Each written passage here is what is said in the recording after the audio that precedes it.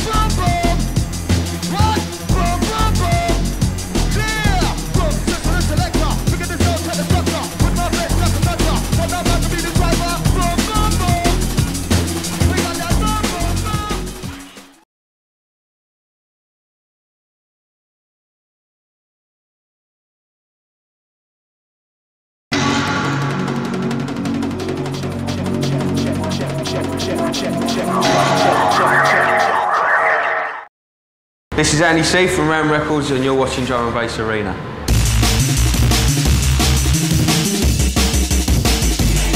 I started playing the drums when I was about five.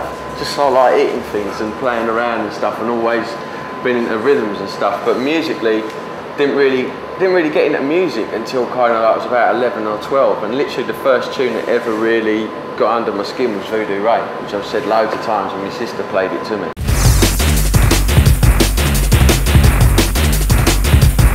I was making tunes before I was a DJ. Um, I was actually making tunes for about a good two years before I'd even had a go on a pair of decks. Um, but literally, like I met uh, Red One good 12 years ago now, probably longer than that, at work experience. He was like, oh, I'm putting on parties. I've got a rave going on in Bishopsgate. It's called Imagination. I'm like, yeah, you doing like? He's like, yeah, it's my first party. Why don't you come down? So like, I went, I went down to it and I was like, oh, I make tunes. And so I went down to his party and I just, I remember standing there and just seeing the guys, all the guys from Syndicate FM uh, back in the day, like um, DAZ, Daz, MA Double T, Just Jones, MB, all guys that are now making drum and bass, but back then it was like my first experience of um, watching a DJ. Everything that was going on that night was really, really special. And I rang Red One up on Monday. I was like, man, I've got to get a pair of decks, bro. Do you know what I mean? I've got about 150 quid saved up. It's all I've got. What, what can I do with that, you know? And he's like, you need to get, well, I don't know, I guess we we go down the, the shop, the local disco shop, you know, and I bought a pair of SoundLab DLP ones, belt drives, and um, a proper old school HW International mixer, I remember, and getting it home, and like literally, I was just hooked, mate. I used to live in my, in my bedroom day and night practicing on them decks, man. It was just like once I got, once I switched them on, it was like literally the whole day could go by and I wouldn't even know man.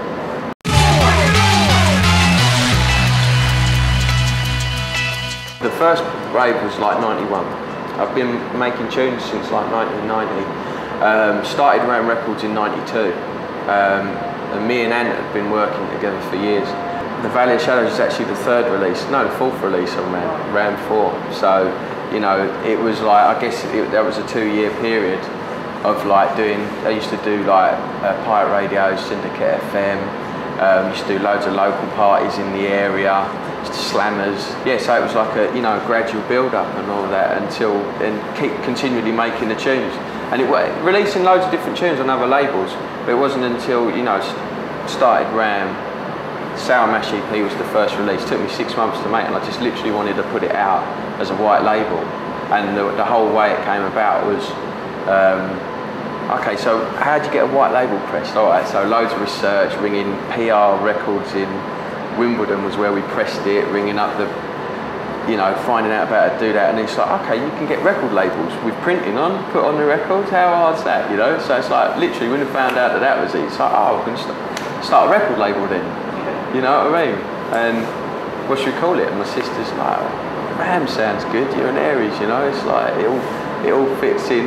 And she drew, hand drew the first logo for me. And that's what went on the record.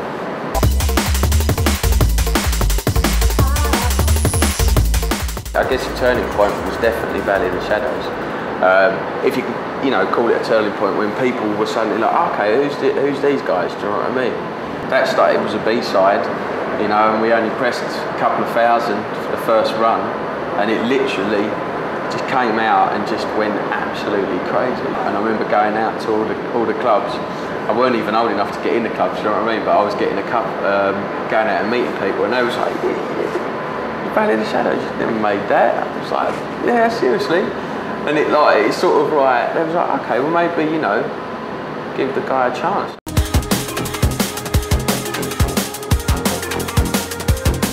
Um, Red One had sent out some tapes that I'd done, like mixtapes, um, to uh, Elevation, um, who were doing a club at the time down Club Dada on Shaftesbury Avenue, and also to all the other promoters at the time, all the big promoters, but Elevation were the ones that got back. And they was a massive rave promoter at the time, so for them to ring back and say like, yeah, okay, that's a good tape, we're going to give you a booking. And uh, they give me like one till two in the morning or something like that on with MCMC, I remember. Um, was like my first gig in Shaftesbury Avenue and it was just, you know what I mean, crazy experience, crazy experience. Red One's car broke down on the way down there, so we had to end up getting a night bus down there and a night bus home with all my records, but it was just one of them things, man, it was just completely mind-blowing.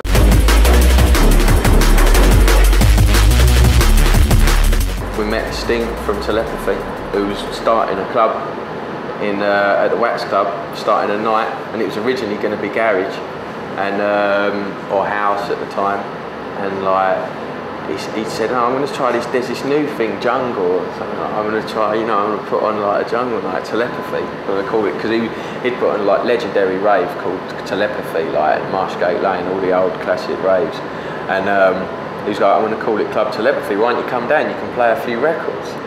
And I was like, yeah, cool. Went down in the first week, and I was down there every week for the next two years.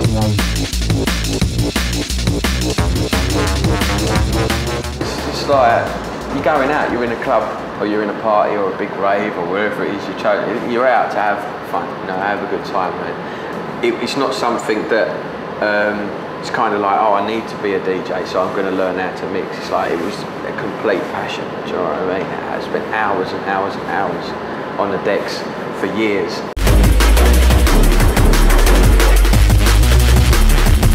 So just being lucky, lucky enough to jump and do what I do, you know what I mean? And like that people have been into what, what I'm doing. Another big highlight as well is like the Ram vibe with all the crew, you know what I mean? Like Ant Miles, you know, being there from day one, Shimon, Moving Fusion, Red One, having all the crew there, you know what I mean, and the crew that we've all grown up together. Um, and we've all kind of learnt the ropes together and, and, you know and been going through it you know that's special as well man.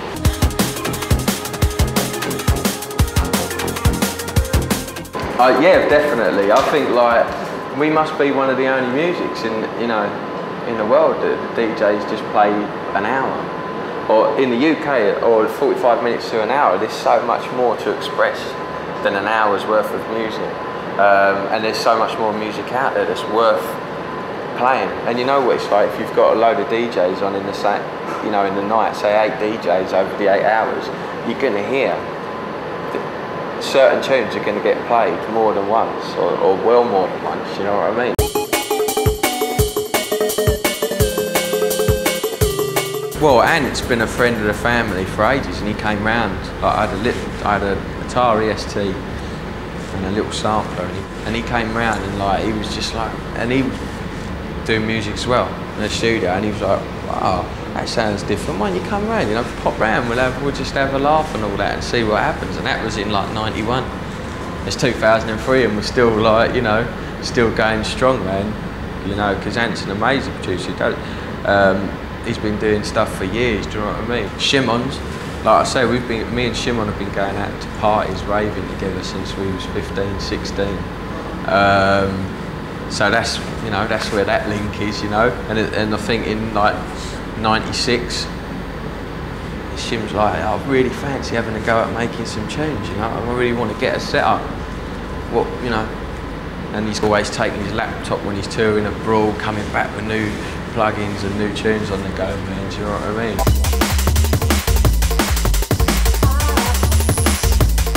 We have always like get loads and loads of demos through the post at RAM every week, you know, and like every fortnight, three weeks, we kind of listen, you know, have a big listening uh, time, sit down and hear it, or take it out in the car when I'm on the road or something like that. Um, and that's kind of specifically why you know we started them other labels, um, Frequency and Highlight. is specifically to um, bring in new people. And you know, there's so many, like I was saying, there's so many people making tunes and DJing and doing all. It's just need a break, you know. So it is literally a case of like every every tune that's been on Frequency or, or on Highlight has come from a demo on through the post. We've signed tunes from Finland, from France, from the north of England, the south of England, from America, and all that. And it's you know it's great because like I say, there's so many tunes. All right, may, maybe not for Ram, but like this, you know, give people, you know, a break. So there's definitely, you know, there's definitely an opportunity to get like new new blood through. You know what I mean, and introduce new people to the scene.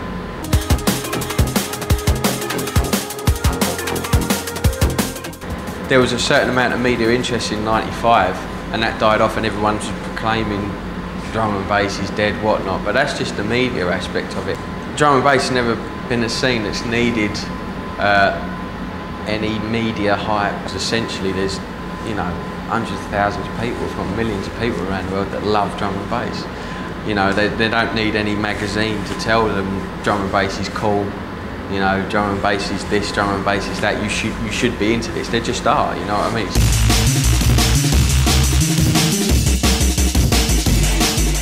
the internet has expanded drum and bass massively. Do you know what I mean? It's reached it into corners of the world where there's, you know, there'd never been a club or, a, or you know, that played drum and bass or a music shop that sold drum and bass and all that. And I think like it's fantastic. You know what I mean? It's a whole, you know, online community of people that over the past few years have hooked up and linked up and, you know, even taken drum and bass a step further. I think it's a great outlet for new people um, to come in and like say, yo, check my tune, you know what I mean? Check my tune out, download it here, you know, check this out. It brings through new, fresh ideas, and I think it's great.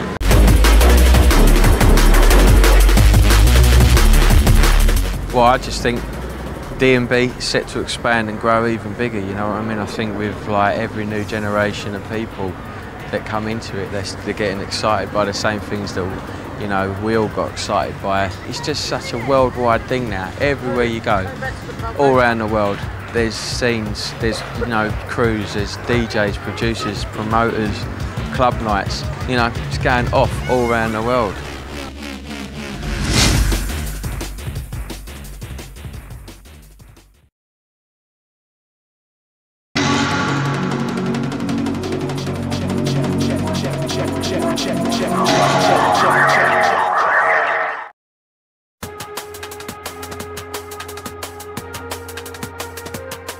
What an MC's job is to do within drum and bass is just a compliment. The MC compliments the DJ and vice versa, um, reads the crowd. An MC is somebody that relates what the DJ likes from what he likes from what the crowd likes. An MC is supposed to be a master of ceremony or whatever. To me, it's music connection. That's my new word for an MC. To be a good MC, a good drum and bass MC, I think you need a fairly powerful voice. I think you need to be fairly clear. And you gotta have a lot of balls, straight up.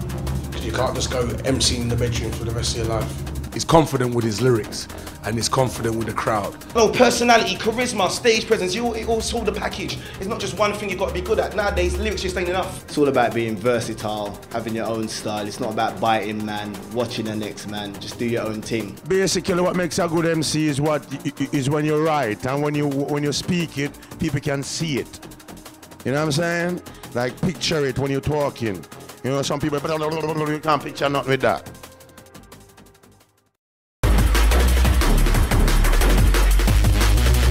Yeah, I know you listen to music, but I know you play PlayStation as well. I know you like your cars as well. Or I know you, you know anything that I know that I think that you may relate to. I'm gonna try and spit about. If they're lyricists, then obviously this stuff has to be has to be written or it has to be constructive. I don't I'm not into the as Navi would say, do re mi one two three MC. You know what I mean? In the beginning, it's all battle lyrics. Me, me, me, slaying other MCs. I'm the I'm the top dog. I'm the man. You know. But now there's more love in the game. me personally, I chat a lot of girl lyrics because yeah. man like me love me girl them still. you get me? So I've got enough girls lyrics. I've got certain bad man lyrics, certain shotting lyrics. You know, you got party lyrics, rave lyrics, vibes lyrics. You know, you can you can open up the whole spectrum. What I'm talking is the real. You know what I mean? Big man boss four and nine, police them search and sometimes they wanna find. It's just it's just lyrics at the end of the day, and the lyrics is from real life scenario. Not saying that, you know what I mean, we're in it, but I'm just saying that's life. A lot, a lot with me is just that I've been through a lot and I've seen a lot and I chat about what I've seen. And as a white guy as well, I grew up on the streets, so I was, you know, I grew up in Hackney, East London, around a lot of things happening. So I chat about what I can see and what I've seen in my life. If a DJ's playing wicked rhythm tracks, yeah, he just draws words out of my mouth. He will make me say some other things. There's a load of words floating above my head. Yeah, you just grab the words. When you're in a freestyle, you just grab the words. You got words floating, whole loads of words in, in, in this world, you know? It's not really about firing lyrics all the time. It's being able, it's about just being able to hold the crowd. I mean, could be firing lyrics all night long, and if people ain't moving, then that ain't a good MC. Boy, a lot of people say it's about the double time and that, but really and truly, it's about your style. I think the double time thing has just been totally ripped, basically. I think everyone's doing it because they think that that's the that that's the way it should be done, but not necessarily in certain instances, yeah, but not necessarily over every tune. A lot of the time in a rave, people don't necessarily hear what you're saying, or they can hear it's the double time flow. And When you get time to break it down a bit, people can understand lyrics a bit more and stuff like that. Clarity, clarity as I said, is always very important. Any good MC that's worth their salt will feel the music and want to shut up when certain mixes is running anyway, car they start getting confused. But other man, they like to just hear their own voice, I think. But my definition of a good MC is knowing when to shut up. A good MC will know when to keep quiet and know when to do his thing. The wrong MC won't, and that's when you have problems. Or when, or when you get like seven 15 year olds in some back of back rave, all, all battling with each other and forgetting that there's even a DJ there. You get me? Them times now, you just have to. Out comes the mic, straight up. Straight up. We're all back. to become a, a good MC, you have to be just be on it. Yeah? In it, with it, go through the ups and downs lyrically. And stay focused, stay away from drugs. Yeah. I smoke cannabis. in your in my philosophy or in the real philosophy then because it's not even my philosophy is this is a universal philosophy right? You have the past you have the present and you have the future yeah? And they're all linked yeah by energy yeah? You have the energy to take things from the past into the future and then from the present into the future. So you have to understand how to conduct your own energy. You have to understand how to use your skill to attain or achieve what it is your aspiration is. That is not an MC thing or a DJ thing or you know what I'm saying? You guys out there watching this are thinking you know might, might be thinking oh shut up or you might be thinking wow yeah? But the same guy that's holding the camera right was never wasn't born holding the camera yeah? Just like I wasn't born holding the mic yeah? And the guy that's asking the questions he, he couldn't speak when he was born yeah? As a matter of fact right I couldn't sit on the toilet and go and have a number two by myself, yeah? My mum used to clean my batty for me, yeah? So I'm saying everybody comes from nothing and then you elevate to whatever it is. It's all about how you use your mental and, and, and about how you use your inner to reach to where it is you want to go to.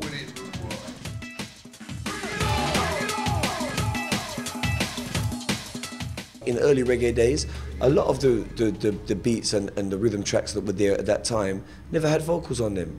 So it was it was a free space for a man to express himself one time, and they would actually get on the mic and be like, you know, jerk it up one time, people, and just just give it this kind of. I don't know, it's this vibe, just give it that little flavor that it was, it just needed that little just added emphasis. The crowd's getting off to the music and you just say one thing and the crowd just, mm, and they respond to that and that, uh, that to me is how MC started. Our DJing original dancehall. The reason why on the ragga circuit an MC is called a DJ is because back in the day the D, they were actually DJs. They used to chat on the mic and play the music at the same time. Our DJing original dancehall. You know what I mean? What they call bashi today is the same thing. Nothing change but the lyrics and the beat them start change up. You know what I mean? But I started out on dancehall. Yeah, that's where everything come from. Dancehall. And then because like the rhythm track was so sweet and they just do this little thing like we say, oh oh seven uh, or whatever. And then it would just fit so nicely that eventually they'd end up recording it, it would become a track and then it would be a massive hit. And that's how they really nurtured their careers and started off as MCs. Them sort of days when I was little, I was too young to know what was going on, but it was mainly a person, man, a female, bigging himself up, bigging up where they come from, their environment, you know.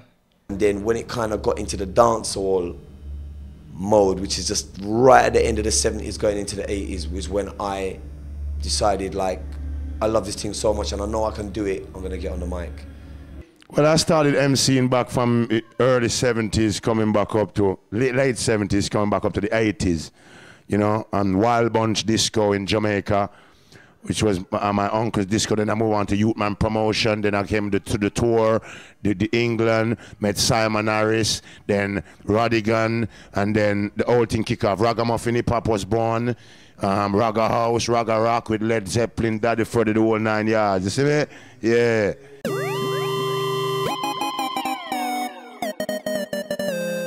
drum and bass give you something else. The sound system, you weren't with it. You know what I mean? Have nothing to do with the sound system. The DJ come by himself. So we're using a sound system, you come with about 20 blokes, box boys, selector, owner, and the other DJs, you know what I mean? But now with drum and bass, you go to the place, somebody got the, the promoter got the place. There's a, the promoter uh, organizes a sound system and he organizes all the DJs. So all you do is bring yourself there because the promoter call you by yourself. So that's not much baggage, you know what I mean? All you got to do is get your script right. Because I came from like the early reggae sort of, because my old man, he did sound systems and was part of the Aswad thing. And so I got the, the toasting side of it, you know what I mean? I used to carry, you know, go around with the sound system in a van and I'd see everything being played out. So I knew what it took to be on the sound system and be the artist. My earliest influences in music was through my uncle called Preacher.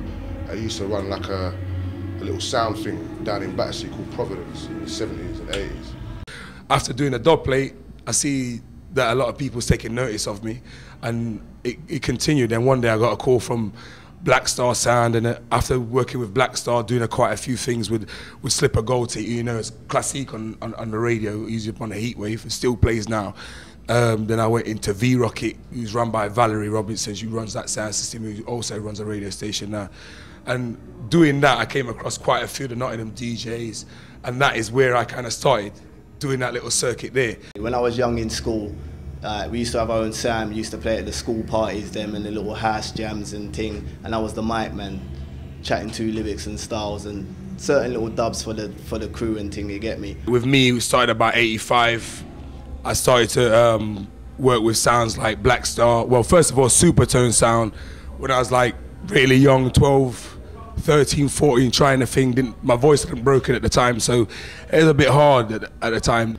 1979, you know, and that's when I left school, 16 years of age, and just went out into the sound system world because I just wanted to do that. I always worked, I always had a job, I always, I always had a job, man. I always tried to earn some money, you know what I'm saying? Because you have to be real about it. You can't think you're gonna be Nas or Puff Daddy or Busta Rhymes or whoever you think you're gonna be. It's not gonna, it's not gonna happen like that. The Martians are coming this way. When I actually got into the scene, I'd never really heard a drum and bass MC. I hadn't heard any MCs. You know what I mean? Really, on on that scene, I didn't know who was who or what was what. I just knew what the music was. So I just did what I thought should be done, basically. Then the MCing thing was mainly through my cousin Rodney P. Like when I was really young, and then he blew up, and then I didn't see him for a little while, and then by the time I saw him again, I started MCing. I used to be into like hip hop before. I went really, I didn't even like drum and bass before, you know what I mean? So all the people there, you know what I mean? But I remember when hip hop was born. Yeah, I remember when hip hop just came around and it was like the new thing on the telly. Yeah, where it's like, yo, look at these guys in America, they're rich, rich, rich, rich, rich, and they're scratching and they're doing this, this thing called body popping and they're, they're breaking. And yeah, I remember when it was the new fad, yeah, and they thought, yeah, it's gonna be a little thing and it's gonna die. And look at hip hop now, yeah, and it's the same thing with drum and bass. 88, 89, like the acid house thing, I wasn't really, really into it. You know what I mean? Because I came from the ragga side of it. We, we thought it was devil music and shit like that. But there was certain tunes that held me, you know. You know, people may or may know that I kind of stumbled into the to the world of jungle drum and bass. Uh, 93, 92, 93, you know, everyone was just being infected by jungle. Everybody was starting to listen to jungle. You know, I can't really get you know too deep into the hip hop now. I can't really get too deep into the ragga now because that's that's the uh, a ragga thing. That's an American thing, but this is a UK thing here. It's close to home. I feel I can you know do with some of this. The actual first rave I done was a rave called um, Outrage at Busby's, which was 91. Um, then I got into like with Telepathy, 92, 93, which was doing like the Wax Club every week and just little things like that. Man, I, I started off in Monday Club. Like with Rat Pack and all them people there and Holy Pot of Man's them. Don't know who they are. You know what I mean? Started off a long time ago, 91, 90. Well, the first rave I went to, what I noticed all the you know MCs and when the limelight was was roast. I think most of the the, the raves at the time I came into the MCs were a prominent thing. You know, the A Team, the Five O's, Navigator, Det. Uh, you know, even Fearless. You know, these are guys that I remember when I was a nobody. Up until like 93, 94, I weren't really getting a lot of work. Maybe one or two things every week, or maybe one thing even every three weeks. Do you know? And obviously now things are just crazy, man. They're hectic. The first ones I actually got to know was like um, VIP crew, Hardcore General, Paddy and them boy there. Uh, Man Paris, Bassman, Stevie Hyper. God rest his soul, Stevie died. And it's a bit of a madness for me because like the way I see it, I was doing a lot of work with Mickey and stuff. And then when he died, I started to get more work. Had to question myself a little bit. Do you know what I mean? It's a bit fucked up to see when you originally die and go, and then all of a sudden you're getting more work. You know what I mean? So I had to question myself a little bit and then say, well, all right, if that's that's happened, and got to step up to the plate and represent for my man, that's how, that's how he would be. Hearing Hyper D back in the day, stinging it, going in the rave scene, standing there as a raver, looking at the stage, Oh, seeing yeah. what's going on, saying, yeah, I want to be there. You know what I'm saying? You know what, and yeah. now I'm there. You get me? Sometimes I used to do the raves, you know what I mean, like with, with my friend, my, my, my, my, my late great friend, you know, um, s- s- um, Hyper D, Stevie Hyper D. You know, cause you know me from back in the days. You used to come check me in Brixton, and you know what I mean. We go the little um one and two jungle them. You know what I mean? Cause they sample my voice in the one in one in one in one in. You know, so I was one of the first voices that they sampled along with Shabba Rankin. You know, make it steer so someone wanted course and ragamuffin. That's me. Obviously, Cool FM, you know, has been there for almost 13 years now. They've been in it before it was even jungle, you know. They've been in it from just playing music. reggae sound systems were like a it was like you're serving your apprenticeship as an MC. You know what I'm saying? A lot of the MCs nowadays are serving their apprenticeships on pirate stations, which is basically the equivalent of what a sound system was back in the day, really, a pirate station now. I went on to Cool FM in '92, and that's where I met a lot of people.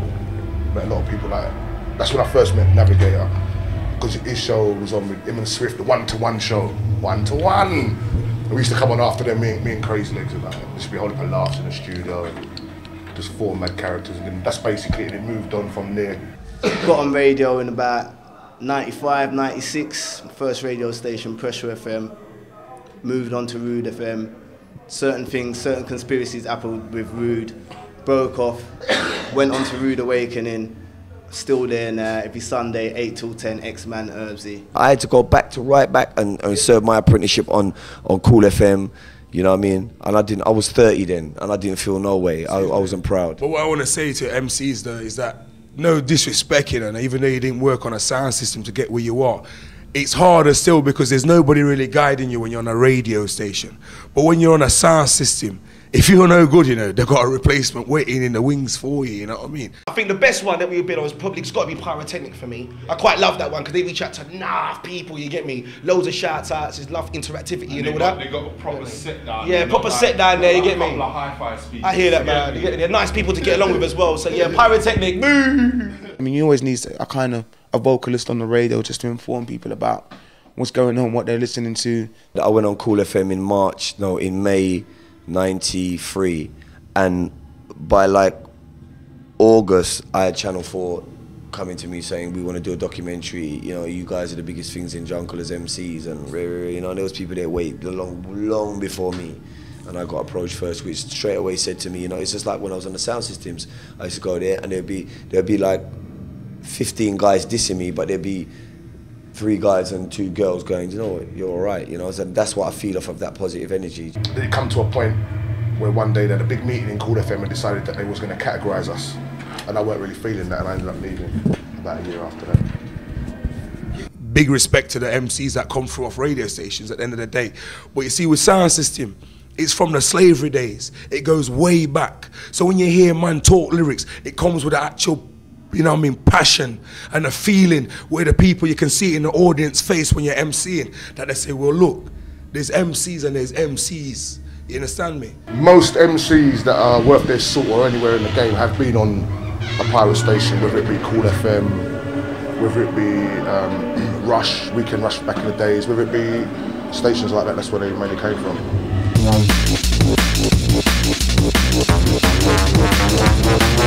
Persistence. a lot of persistence. It's a long game. I've Been in it a long time. I'm telling you, 12 years I've been in the game. So I want to big up everyone that supported me. And there's people out there that think I've just come. They think I've just like come in the last three, four years. So that's great. That means a lot of new people are getting into the music. So they need educating as well. And you got to have patience. But as you go along, you can see you can get more out of it for yourself. Yeah, well, you know, when you're starting out, you have to pay your dues. You know what I mean? You know, you have to go through the, the, what you call it, the struggle. You understand me? Seeing, okay, you book up on a lot of prima donnas, icons. You know what I'm saying? You know? So, you know, you just have to just know, say, you know, this is what I want to do. And I'm going to do it by any means necessary.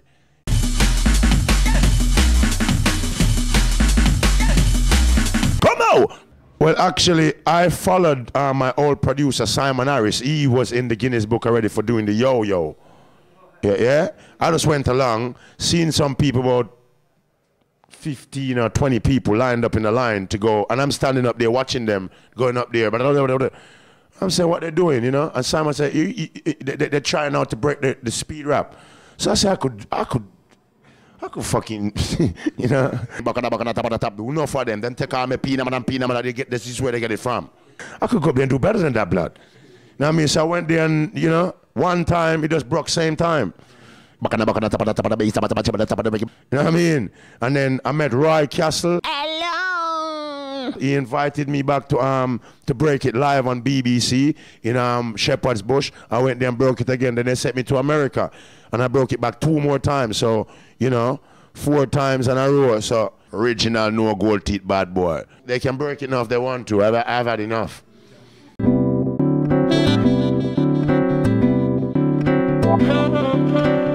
You know, I'm in Puerto Rico and I don't even know how they say it in their language, but they call me the Rottweiler in their language out there.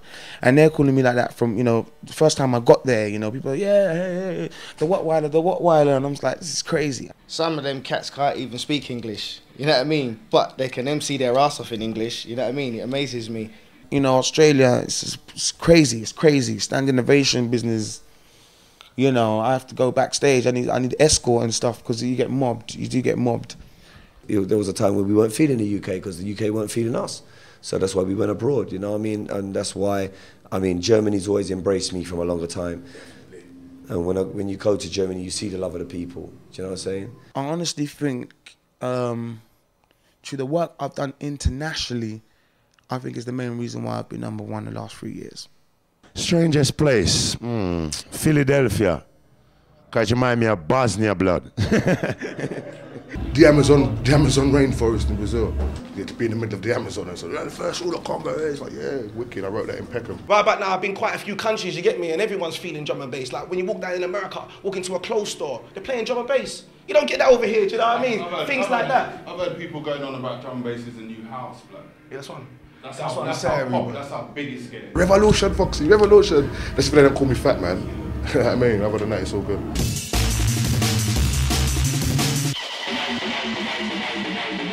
Best moments of my career so far.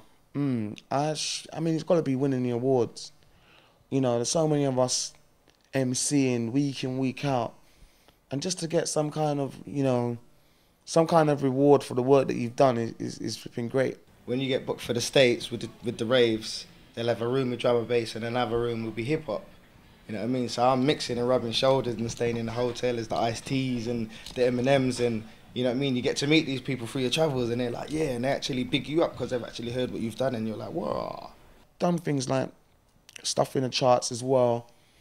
You know, being played on Radio 1 and stuff like that. That- that- That's quite, quite a great achievement for me, you know what I mean? To be, to be played on radio. I think one of the best was when I done a done a thing there in Miami, that done the Ultra Festival a couple of years ago, and I think I think there's a big mix up with between Bad Company and a group called Bad Company in the States that do like rock and metal and shit. And I think they thought they was meant to be playing in the main, are- main arena, and it ended up being like me, Vegas, Fat Man, and someone one of the other guys there from Bad Company performing in front of like like 15,000 people or something like that. It was massive. The high points is just staying in the best hotels and just traveling the world every week and just meeting different people all over and seeing the crowd go wild and signing autographs. That's the, that's the high points. You know what I mean? And the lifestyle is just crazy, but I think that's I think I think that's the best part of the job, the, the buzz. You know, like when people say, like when you when you get up in, the, in front of a big crowd and you get some kind of response and that kind of thing. You get that welling in the stomach, almost like tears to the eyes. Better than drugs, better than sex. If you catch me in a room full of people and they're like, oh, I can't do a rap, do a rhyme, it's like I get shy. I go in my show, it's like, oh. But you give me a mic and put me on the stage, it's like the waiting thing goes and fearless kicks in. You know what I mean? I feel like I've been on tour for five years. You know, you, you check Jay Z or Eminem and or some certain big stars, and they're like, "Yeah, we've been on tour for eight months, and it's really hard and shit." This is really like being on tour for for for like for the last five years. Running around late nights, lots of mileage on cars, points on your license.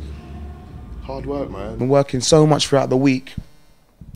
Then come on a, on a Saturday night where the, the largest event of the week is, I'm I'm gone. I'm totally wasted. I haven't had a holiday since 1986. That's even before I started MCing. I'm gonna have my first holiday next week for four days. I'm gonna go to Amsterdam and smoke weed. Boy, you can hear by my voice, man. I just come back from Cyprus, got off the plane, come straight here. I've cancelled like four shows yesterday and Thursday and Friday, and it's crazy. I'm doing like two and three a day, every day of the week. I maybe get one day off now. These days, it's not just Friday and Saturday gigs. Far from it. It's very much you. So you do Wednesday, Tuesday. There's there's things all the all the time. A good week I can do like 10, 9 in three days sometimes. Like three and three, three on a Friday, three on a Saturday, three. Sorry, three on a Thursday, three on a Friday, three on a Saturday. On a bad week, one. But it's all it all offsets each other. Do you know what I mean? One check, one check, one check, one check, one check, one check, one, one, one. No, it's not a power struggle. DJs are scared. Yeah, it's not a power struggle. It's a case of, at the end of the day, you get some people like, yeah, you can go in a club and you, we'll put it this way, you can't have a night and put five MCs on the lineup and have no DJs because that'll be a bit, bit nuts. Because back in the days, when you go through Do Magic or something like that now, the MC was back in the box. They just saw the DJ, you know what I mean? But now they've given us a stage because we look, we wear pretty clothes and da, da, da, and whatever, and the kids wanna, the kids wanna like a little role model or something to look up to. Apart from a DJ just standing there just mixing away and not smiling. You see, I get on with nearly all the DJs because I've made a point to because I don't really want to be going on there and got to chat on the mic and the DJ wants to turn down the mic and all them kind of things there. So, is there a power struggle? I think there is a power struggle between some MCs and some DJs.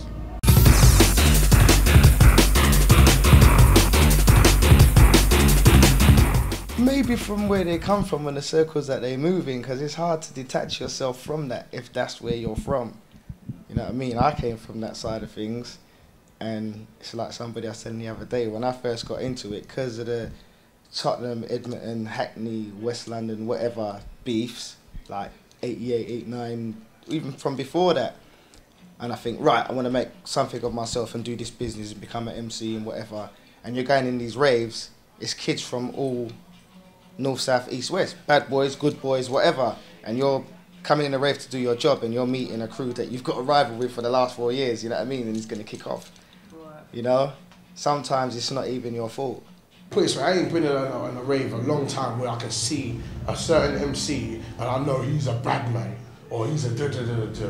Because you know what I mean, at the end of the day, I talk to everybody.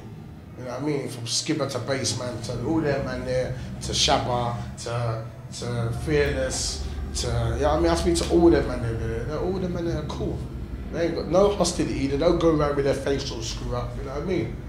But for the MCs that are in that bad boy style and they bring that to the to their work and it makes it there and it kicks off, it ain't gonna do them no good. Mm. Because promoters see the trouble, they don't blame your mates, they came with you, so it's you. You know what I mean? And I can't afford that. I got kids to feed.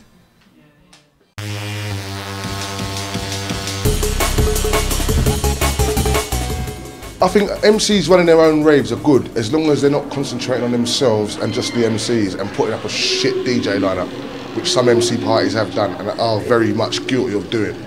Because without, without no DJs, there, there wouldn't be no MC. Yeah, you can have a rave with just DJs. I'll or take Killa Kela, you You know. can just have music, you get me, but you Yeah. can't just have an MC in a club just spitting lyrics. That ain't gonna work. Unless you got Killa Kela and Rahzel going on, you know what I mean? Get some roots band going and then we can start talking, you know what I mm. mean? When we do an MC convention, it ain't just a normal rave. People think it's just a normal rave, but it's a special occasion because it's our rave. We make it special. You know, MC Convention only really started this year, the first of this year. Yeah, it did. It started the first of this year, and for a new rave, you know, to be so successful like that is, you know, it's kind of unheard of. It's just like the first one was like over two thousand people or so. Second one, all, they've all been over two thousand people, and it's just, I don't know. You can't really thought of that. Running their own raves. Yeah, man, I think, I think that's quite dope as well. MC orientated raves. Do you understand me? But to balance it off, they should have DJ orientated raves as well. Do you know what I mean? But there needs to be a promoter to do that. Do you get me? But right by night, it's the, it's the MC's time. Do you know? It's about bloody time. No, anyway. us MCs, we've been doing this thing for a few years now, of um, week in, week out, going into raves and then going home, week in, week out, going into raves, and it's cool, but it's not very business minded. Like it's just like okay, going to do a job, and it could end at any time, and there's not much to fall back on and stuff like that, you know. And when you've got that much faith in your style or whatever you're doing, and then you've got a promoter saying, ah, know what I mean, you're, you're not like Skibadee or whatever, so you're ranked like third on the steps, so you get this much, and You know I mean? It's hard. So some MCs like, nah, forget this. I'm gonna put on my own party and make my own stage. Sometimes you know you feel the pressures when you're doing as much as I am, four or five hours of just screaming at the top of your voice every weekend. Sometimes you think, oh, this is gonna end at some point, and if I'm not putting a lot away now, then there ain't exactly a pension, a drum and bass pension thing going on. Like when Stevie Hyper D passed away, I felt really funny that, you know, when he left, he only had um, the mixtapes as a kind of record of what you've done, or you know what I mean. I just think he deserves so much more than that. You know, I think you know, you know, he was the number one MC at the time. I think he was just as good as the number one rapper at the time, or the number one singer, or the number one reggae artist. And I think he should have had just as much as them. You'd just be just as wealthy as them. Why not? I know drum and bass isn't as big, but yo, that's what we're that's what we're working towards.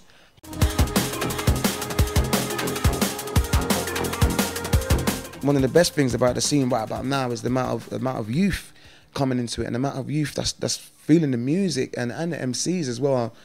Uh, just in Rochester the other night, and also Tunbridge Wells a couple of weeks ago. Absolutely crazy, kids going wild. Even kids as young as six, seven, all the way up to eighteen, going wild. The one just the other day was like fifteen hundred kids going wild. I brought my kids to a couple, and I think that's good as well. You know what I mean? As I said, the message from you catch them early, and from before they like some have older brothers and sisters, and that's that's all they see is the bad boy side of things. When you get under 18s and stuff, and people that's gonna make a difference, you can talk sense to them kids. and Say, nah, that's not the way. This is the way. You know what I mean?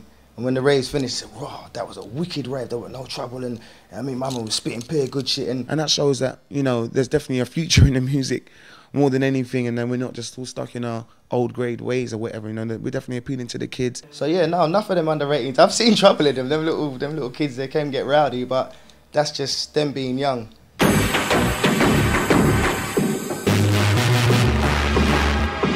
Rubbish. All that more fire one? Nah, mate. Nah, nah mate. MC's appearing on record, I think it's good when it's done well, i.e., more fire. Then me and Spider made a track called More Fire with, with you know, like Shabba, Tenor Fly, Soul Train. You know, it, it was it was a legendary record that we made. And then obviously Fresh Bad Company came and he remixed it, and then Andy C came and remixed it, and it was just like eventually the whole thing just catapulted and then it exploded and snowballed into the next thing. Do you understand me? More Fire now is a legendary tune. MCs on records. Well, I think that's the next step, really and truly. Vinyl is power. Do you know what I mean? End of the day, it's funny, you know, because basically a lot of producers that are DJs get a lot of work around the world because they're producers. And Understand me? A lot of people heard their records. Do you know what I mean? So basically, once they can, once people hear your voices all around the world, they're gonna want to hear you. That just means more bookings, more money. Yeah, I'm all for it, man. I got a few tunes sitting there and I've tested a lot of them out. Like I've been out in Ayia Napa for six weeks, been toured the whole of Cyprus, do you know what I mean, and played it over there and just to see people's reactions towards the drum and bass. At the end of the day, sometimes, no disrespect to DJs again, they're overmodulating. It's like turn up the mids and trebs and you know what I mean and the bass and can't really hear MC too much. On a tune, you can hear what the MC's spitting about. Do you know what, right? Me and Rodney P, right, have been supposed to be doing a track for the last two years. And if you can find a date in my diary and a date in his diary that we can actually sit down like this for five minutes and talk, it'll be heavy, then we can actually get something done.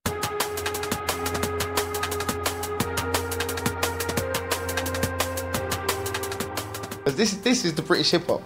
This is the British hip hop. And I think we missed our turn, but this time around, we're more educated. We can deal with it now. So when it comes, we'll be here. The game changes from you know every year and a half, two years, things changes. This year, last year is definitely the year of the MC. It's cool for us being an MC. Yeah, we're enjoying it right now, but you can't expect that to last forever. Yeah. highly blessed. So much things I've been through in my life, so much ups and so much downs. I've tried to tell you about ups and downs and here's and there's. But you know what, right about now, the things I've seen in my life, I know I'm blessed. I must be blessed.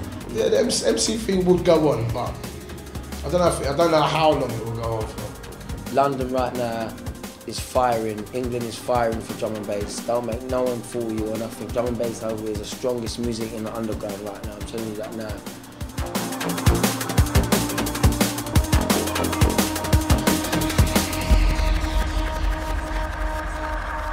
When I want a commercial weed figure respond me chest. Think what me a bun is rated as the best. Come me got me sticky sticky, tight and compress. Look pon the weed and ball out highly blessed. Can get it in the east and the northwest. Listen to the shabba cause you know me just flex. Sun, sea, sand, sex.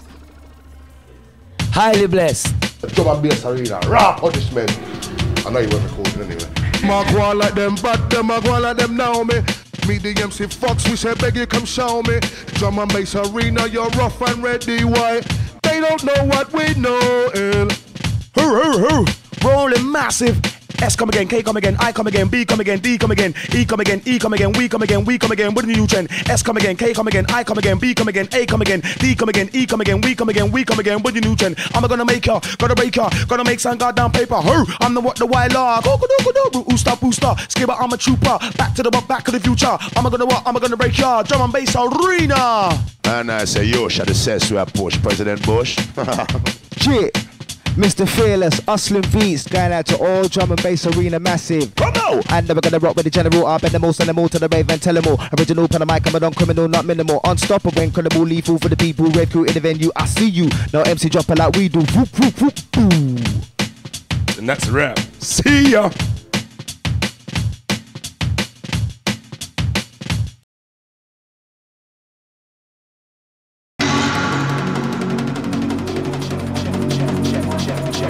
The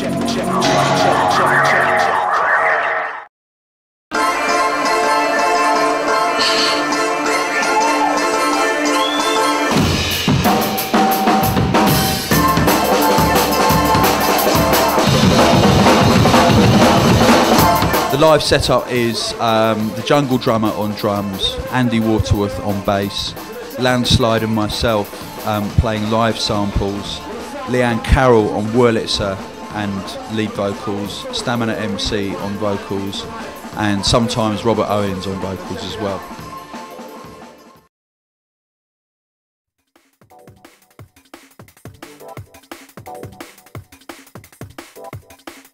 We took something that people didn't think could be done live, and we took it out live. We, we took it on the road and we exposed it to a wider audience. They, they look at it and they see what they recognise a drummer and a bass player and two people standing there, and then uh, halfway through the night they'd realise it, it was jungle drum and bass being played live. The Reprazent lineup consists of four people on samplers me, Krust, Roni, and Suv. Si John on stand up bass and electric bass. Bobby Merrill on drums. Onallee and Dynamite on vocals.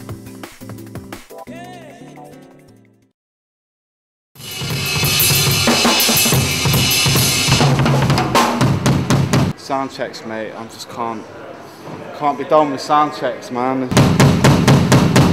Just fucking There were there were certain personality disorders within the band. One of which was mine, and five of which were the Jungle Drummers. Tony, when you stop fucking about, are we gonna fucking sack? The Jungle Drummer, who, I mean, he's like I don't know, he's like Billy Cobham, who is basically the best jazz drummer ever. He's like Billy Cobham, but if he had grown up to be a junglist, he'd be like the Jungle Drummer. Andy brings the real kind of like the jazz musicianship to the band, you know, with, with his with his upright bass, and he kind of he makes his bass sound like an 808 basically. He gets an amazing sub out of his bass.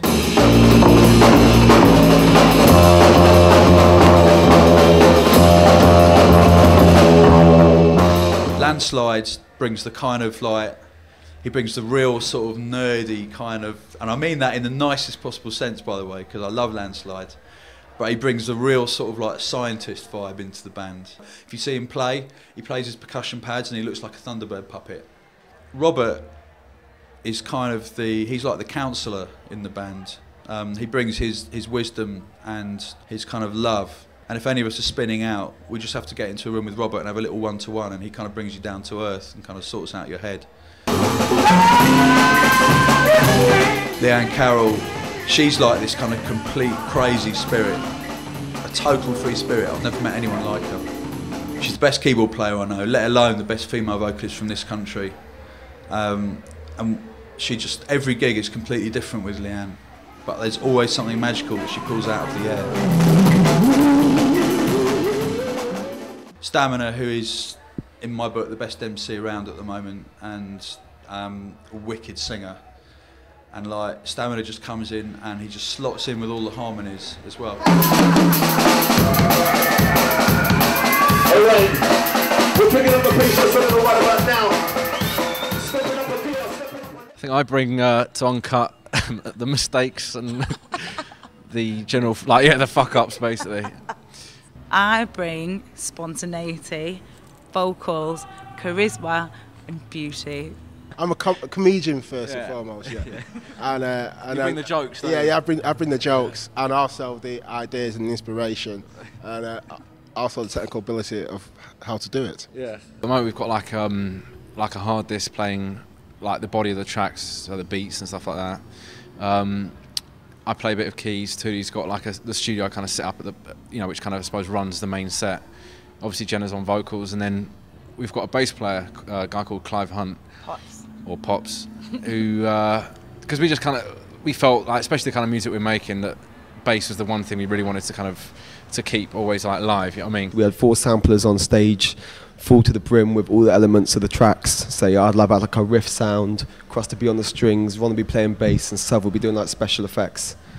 We've got a laptop running Ableton Live, which is this really hot new software. It's, it's awesome. And so we'll we'll bounce down the parts into stems, and a stem is like, you know, we'll have drums, music, backing vocals, strings, and a click track for the drummer. Um, and then all of those will be get routed to a mixing desk along with splits of the live thing. So we'll have we've got a guitar player, a bass player, and double bass player, um, a drummer and vocalist. The clubs that don't have facilities for live drums, um, I use like electronic, a D drum for electronic kit, and for the clubs that have facilities for live drums, I use um, two or three snare drums, um, cymbals, and obviously like toms and um, one one bass drum. Uh, back then we were using 760 samplers made by Roland and um, monitors. Plus we were doing like a lot of uh, layering with the drums and stuff. The drums were all had like backed up with the, the sampled drums from the album and breaks from the album. Plus John was using um, a stand-up bass, one the electric one though, so it wouldn't feed back too much.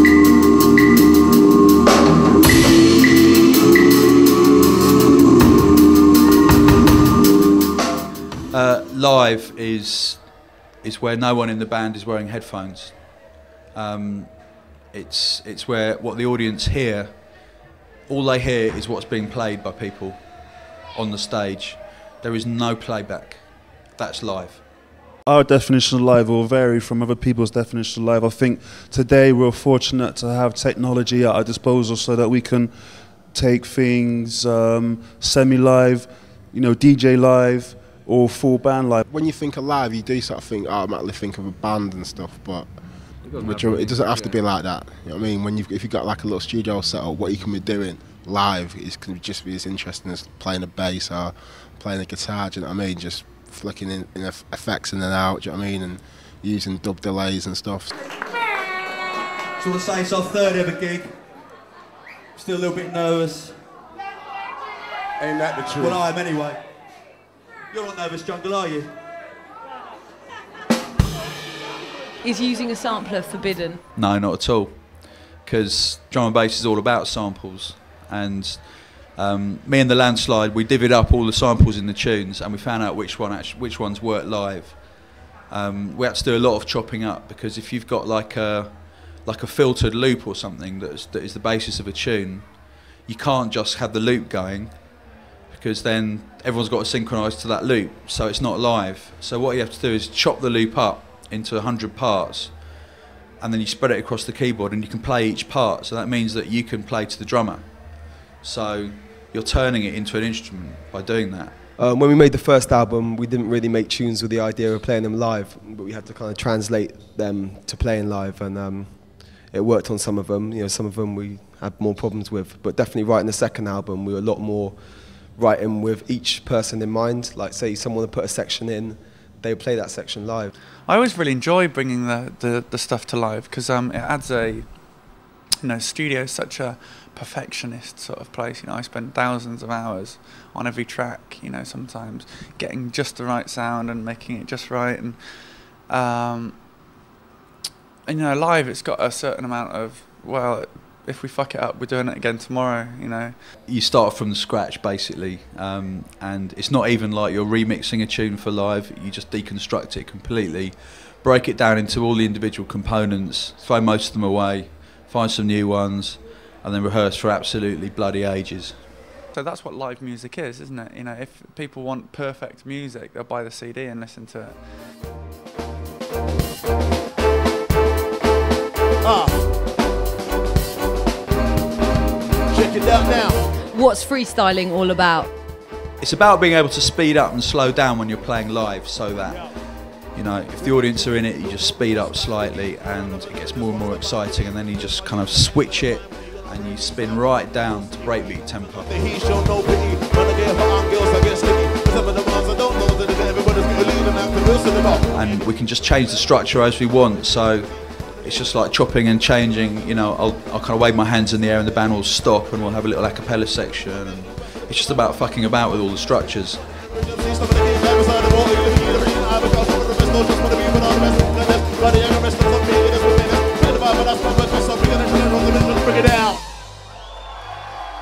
If, if if you've got different channels and different effects, and you know you can speed things up and slow things down, and loop sections, it's like you're you're molding a piece of material, and every shape at the end of every gig, each piece is going to look different.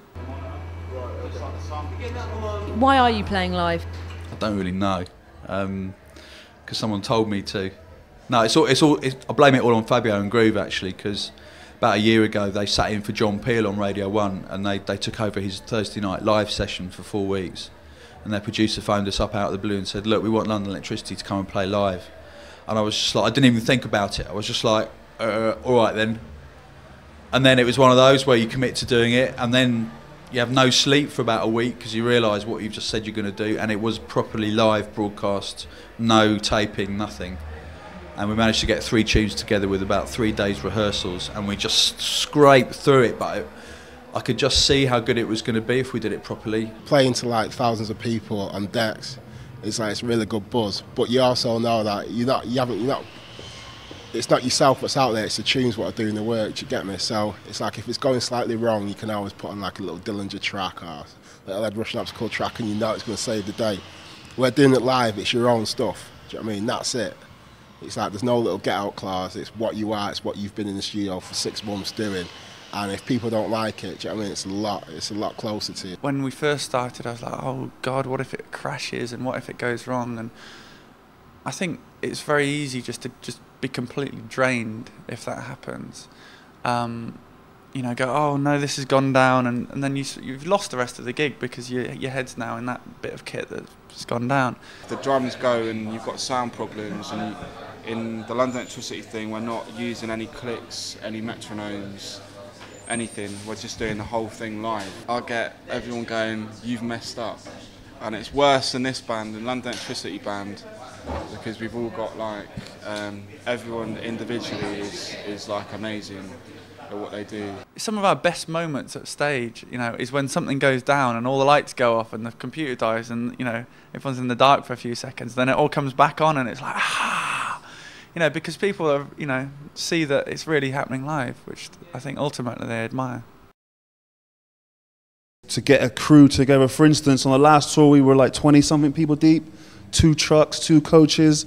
That's a lot of people to take around the world. You know what I mean? And now we've got like eight people and we're struggling to take that around the world. So it's like, it, it just depends on what people uh, want to do fully live. I mean, we was writing with orchestras, and we couldn't afford to take an orchestra out live with us. You know what I mean, stuff like that. So, so we just had to work out a way how we could do it live, but also, you know what I mean, also have everything in it. So there's certain things that are coming off hard disk and, and the hard drive and stuff. For example, our first album, it's got like vibraphone, brass section, string section, um, all manner of percussions, you know.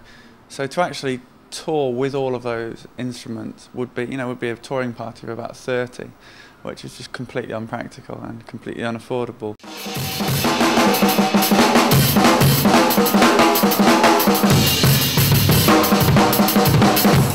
I think some of the sort of, I guess, lesser known, like some of the sort of lesser known bands we've seen sort of who do like drum and bass, whatever, that's been the problem. It's like the drums just haven't been tough enough. They've been a bit kind of tin pot and I guess sound a bit too kind of like a garage band. Do you know what I mean? Rather than a than a drum and bass act. I think it's not difficult to play it, but um, the hardest thing when you're recording live drums is to get them to come out live and not overproduce because it, it ruins what you're trying to do.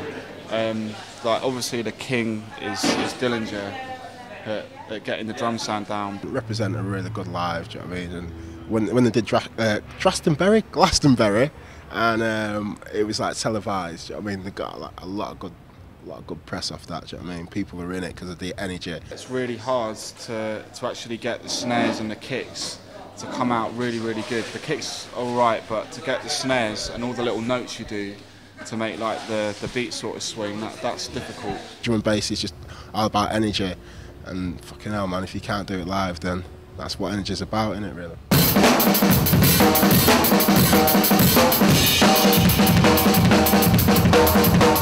We did our first gig in Edinburgh last week, um, and uh, we've been rehearsing so hard, but we had no idea what it was going to be like, how people would receive it. It was a kind of junglist crowd, and uh, we thought maybe they'd be standing and watching, like liking it, but just kind of going, uh, what's going on? But then it was shirts off in the first number in Billion Dollar Gravy. Everyone had their shirts off, and they were just fucking. They were moshing. It was it was like a Beastie Boys gig or something. People are used to seeing like a band invite, you know, going out to see a band. There's a whole other audience out there, older audience that goes out to see concerts, and I think it attracted them. Yeah, I did appear on Top of the Pops last year. That was with Shy FX doing Shake Your Body. Um, before I did it, I was like, wicked, Top of the Pops, great, but um, yeah, I was sort of at, at to mine really, so wasn't really the same as, as doing it live. people have got funny ideas about drum and bass, and we all love it because we're, we're all involved in it. And in some ways, it's good that it's never really broken through because that, that's what keeps people loving it. I think the strength of drum and bass is that it is underground. I went to like America in December and played with DJ Craze, and it, it really sort of blew my mind. Um, people coming to the clubs that had never seen anyone play the DJ before. Like, it, it was amazing for me to watch people's reactions. Over the past like six, seven years, been loads of live sort of drum and bass bands come and go. Do you know what I mean? But each one who's come has like took a little something from what bit, what came before them. I mean, just added to it. So I think I think it's I think it's just a slow progression, but it'll get there definitely. To get to an arena, stroke, stadium kind of level, I'm not sure about that. I mean, you know, some people have tried it. It doesn't work, man. Forget about it. It's, it's all about letting it build organically. And if it builds to the point where suddenly you can play in a, in a big venue and it goes off, wicked. But that's not what it's all about. That's not why any of us are doing this. Anyone who tries to force it onto another level, they're just going to come a cropper.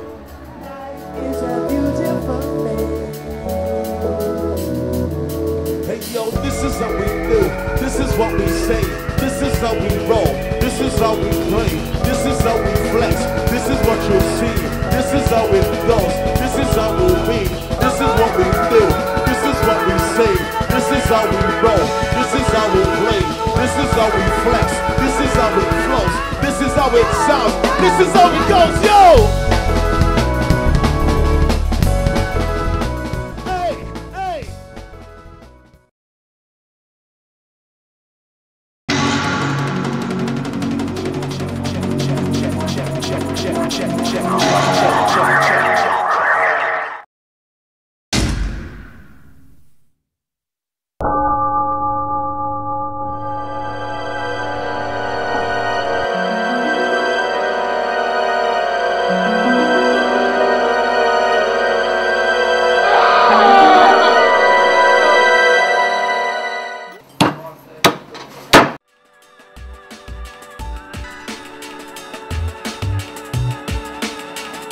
Started producing about 97. Uh, my mate popped into a studio and come out with something like in a couple of hours and I thought, yeah, if you can do that in a couple of hours, we'll give it a go.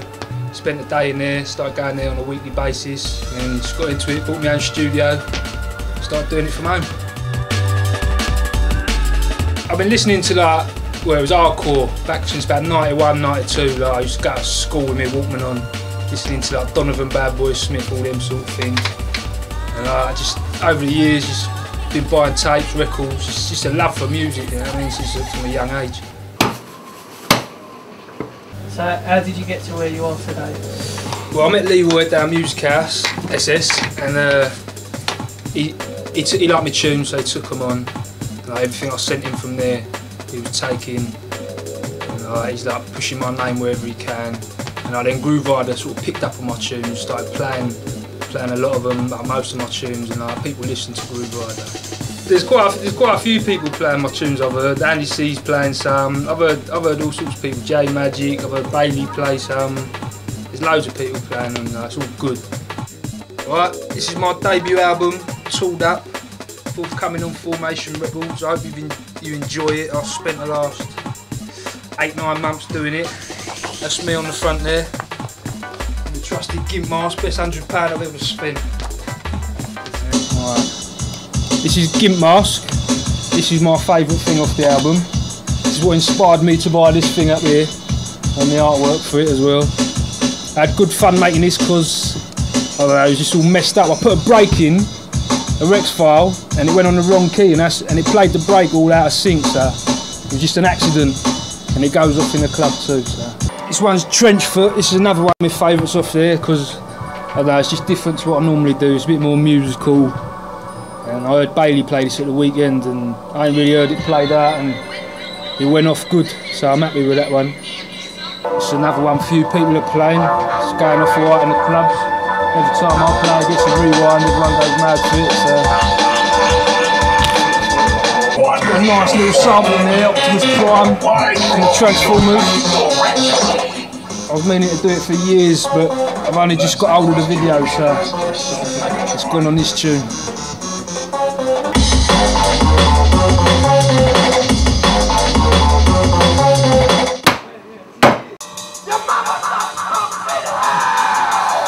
I've done my own vocals on this one.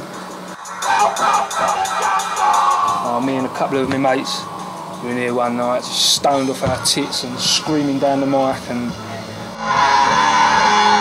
got this plug-in, it's like a electric guitar thing and it's pucker.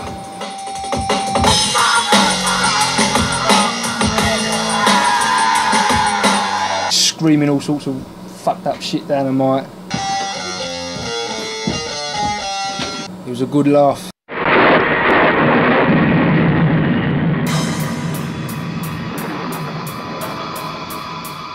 How did you first get your tunes heard of? No, I met SS down Music House and he took Wales off my hands. And uh, everything I've done since then, I sent up to him and he liked and just thought like, I stay there, you know, Formation were one of my favourite labels back in the day, so it was good to be where I was. I prefer to make the more off-key sort of stuff because I've been doing the jump up cheesy thing for years now and I can do them tunes all day long. And the off-key stuff's a challenge for me, so things like Gimp Mask and and I just like I just like the off-key stuff and the musical stuff as well. We're doing a fair few bits of that. Like, it's just good to have a change. Like, I've been doing 4-4 garage as well to help pay the bills. I know people say selling out and all that, but it's good to have a break, you know, from the norm. Uh, there's lots of producers I like to work with. Know, loads of like Zinc, the Ram Boys, Full Cycle. Uh, you might catch that from me and Simon Bassline soon. We've been talking about it, and Dylan as well. We've mentioned it. There's loads of people. I'm just a normal kind of bloke, you know, just up for a laugh, man. Oh, when are you back on Rude 104.3? Uh, I try to go down to Rude Awakening uh, when I can. I have a good laugh down there. Been on there a few years, but it's just difficult now, like living in Leicester. I'm going to try and do it once a month, like keep in touch, but I do have a good time when I go down there. It's laugh. So. Um, any tips on for aspiring producers? Uh, yeah, just stick at it. I stuck at it and I got there finally. I mean, I'm making a wage out of it now. I used to dig holes for a living and make tunes at night, and for years it was going on skint. And you'll get there in the end if you stick at it. I, might start work on my second album. See how see how well the first one does first. I've got a few remixes to do. And right now, what I'm interested in is going to see the greedy girls in there. See you later, boys. Woo!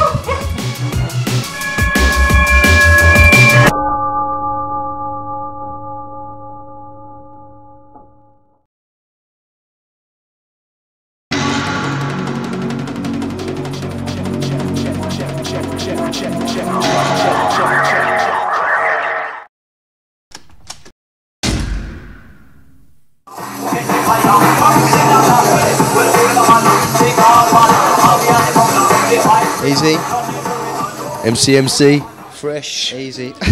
Fresh. Um, we're filming the video for More Fire at the moment. Today is kind of like the culmination of weeks of like a lot of effort from a lot of people. A lot of the time you see drum and bass tunes getting into the charts and they're not really tunes that the underground supporting. So it's good that we've had an opportunity to be sort of involved with something that people are excited about outside of drum and bass.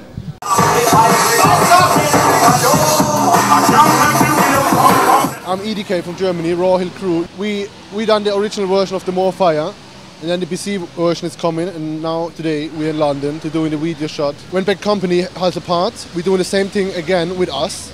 Then we have we can split it and build both versions. One video for our version, and one for the Bad Company version.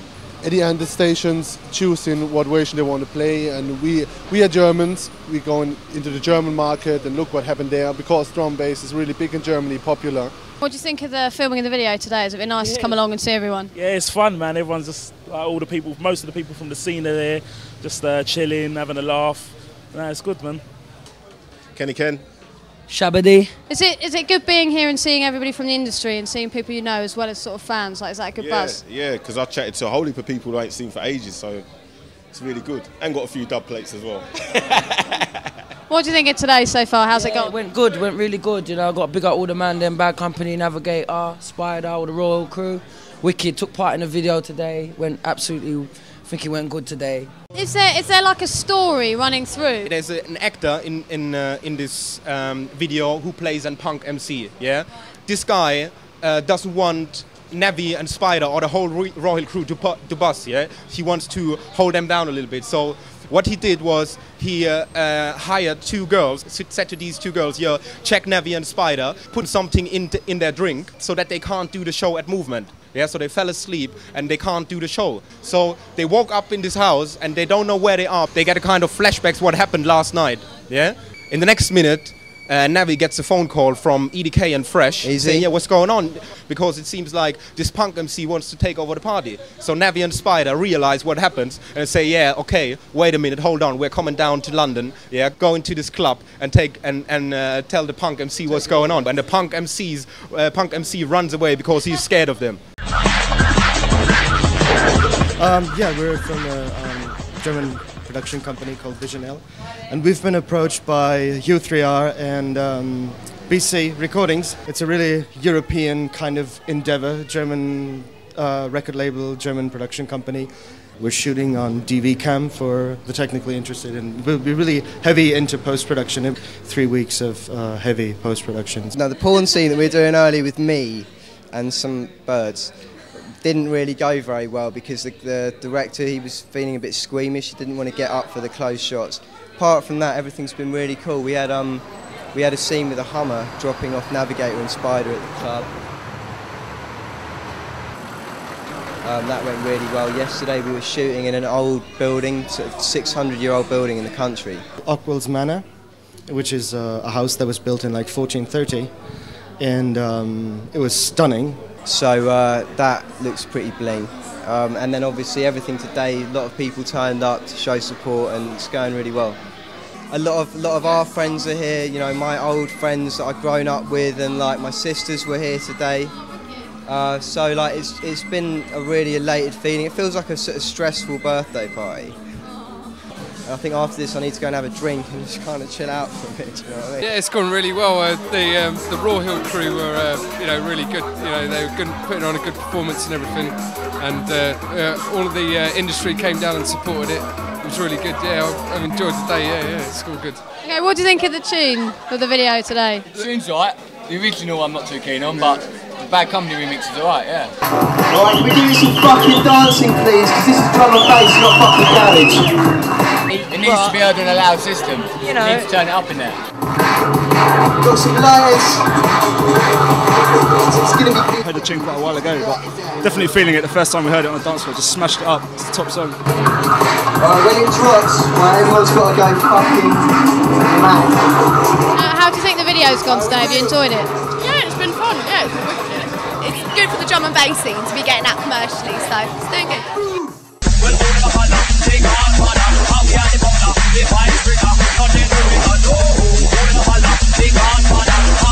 It is planned that the video will be played in early January because the tune will be released in, let's say, mid-January. You know what we're saying. Keep it Slayer. Whoa!